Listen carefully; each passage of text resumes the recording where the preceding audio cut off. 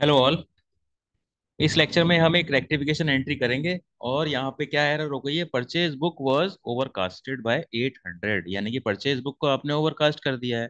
तो आपने क्या किया है? परचेज बुक बनाई। परचेज बुक बनाई। उसका जो टोटल है, ठीक है? उसका जो टोटल है, वो आप कहाँ कहाँ ट्रांसफ़र करते हो? परचेज अकाउंट में करते हो। ठीक है? और यहाँ पे क्या लिखते हो? टू सन्ड्रीज एज पर परचेज बुक ठीक है? तो यहाँ पे क्या किया है आपने? टोटल देखो इसका टोटल अगर ज़्यादा कर दोगे, आठ सौ रुपये आठ सौ रुपये आपने इसका टोटल ज़्यादा कर दिया है तो ऑफकोर्स ये परचेज अकाउंट में जाएगी तो परचेज अकाउंट में डेबिट होगा। परचेज अकाउंट में डेबिट साइड में लिखोगे परचेज बुक के टोटल को तो परचेज अकाउंट भी आठ सौ से ज़्यादा डेबिट हो जाएगा। ठीक है तो जब परचेज अकाउंट आठ सौ से ज़्यादा डेबिट हो जाएगा तो इस एरर को आप कैसे सॉल्व करोगे?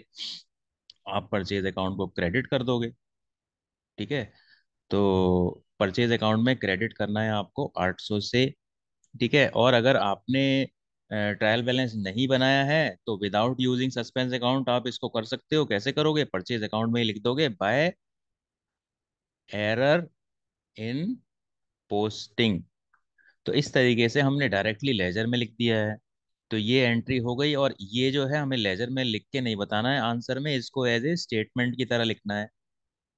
ठीक है? और स्टेटमेंट की तरह आप कैसे लिखोगे? तो इसका आंसर लिखोगे purchase account will be credited purchase account will be credited as लिखोगे क्या वहाँ पे? बाय एरर इन पोस्टिंग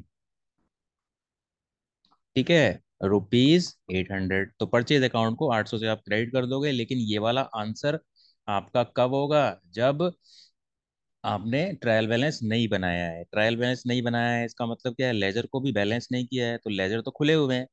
तो लेजर जब खुले हुए हैं तो उनमें डायरेक्टली आप उसको गलती को करेक्ट कर दो।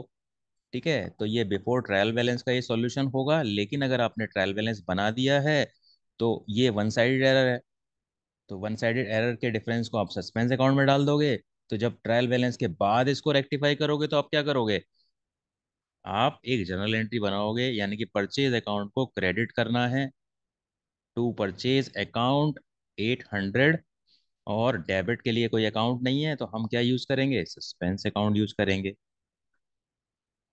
एट हंड्रेड ठीक है? तो ये वाला सॉल्यूशन कब होगा? ये आफ्टर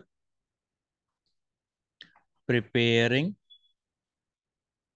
ट्रायल बैलेंस ठीक है? और इसमें आप नरेशन क्या लिखोगे? Being purchase book overcasted now rectified तो इस तरीके से ये आप एरर को सॉल्व कर दोगे, ठीक है? तो यानी कि सिंगल साइड एरर जो होती है या वन साइड एरर होती है, उसको सॉल्व करने के दो तरीके होते हैं।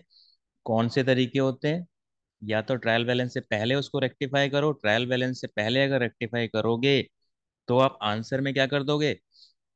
आंसर में ऐसे स्टेटमेंट की तरह आपका ये आंसर होगा, ठीक है? आपको एंट्री वगैरह नहीं बनानी है। लेकिन अगर आपने ट्रायल बैलेंस बना दिया है ट्रायल बैलेंस के बाद करोगे तो आपको ये एंट्री बनानी पड़ेगी, ठीक है? और 99% परसेंट केसेस में क्या होता है? क्वेश्चन में कुछ डबल साइड एरर होती हैं, कुछ सिंगल साइड एरर होती हैं, ठीक है?